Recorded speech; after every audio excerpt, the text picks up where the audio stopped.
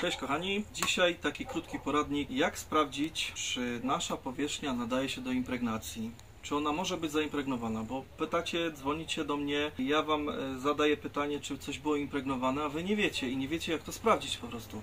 Najzwyczajniej w świecie po prostu trzeba wziąć wodę i taką powierzchnię pomoczyć. Tutaj, gdzie jest, na przykładzie tego pustaka, zobaczcie, tutaj, gdzie jest impregnowana, niekoniecznie powierzchnia musi być efektem mokrym robiona. Ona może być też efektem suchym, ale będzie znacząca różnica między powierzchnią impregnowaną, patrzcie, a powierzchnią nieimpregnowaną.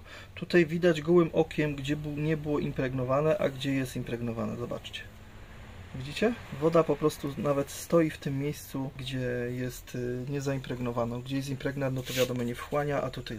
Także najprościej w świecie bierzecie wodę i przejeżdżacie po powierzchni, którą chcecie sprawdzić i patrzycie, czy ona chłonie wodę, czy nie. Zobaczcie. Widzicie? Ona jest tutaj ciemniejsza i tak samo będzie z impregnatem.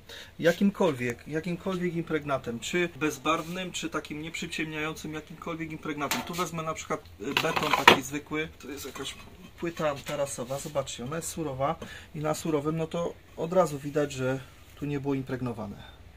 Zwykła woda po prostu, zwykła woda i patrzymy, jeżeli by było zaimpregnowane, to tutaj by była różnica w chłonności i byście widzieli, że po prostu jest coś pod spodem. To taka, taka rzecz, taka płyta zaimpregnowana, no po prostu już nie wyjdzie ten efekt taki, jaki ma być. No to jest znowu efekt jakiś mokry na takim gnejsie i zobaczcie. O.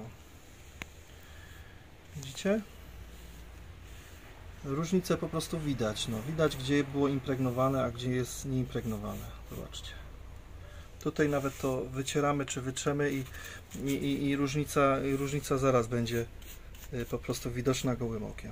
Także kochani, jeżeli chcecie sprawdzić coś w domu, czy nadaje się do impregnacji, no to trzeba wziąć po prostu tą wodę i sprawdzić to zwykłą wodą, mocząc to y, i sprawdzając takim testem wodnym. Wszystko jasne. Dziękuję Wam za uwagę. Pozdrawiam.